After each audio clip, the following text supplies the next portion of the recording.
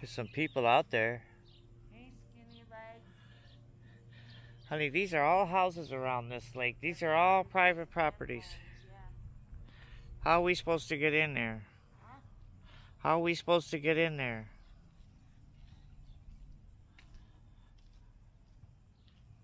This is nothing like the lake we were at yesterday. No, this is not. We gotta go to the other side.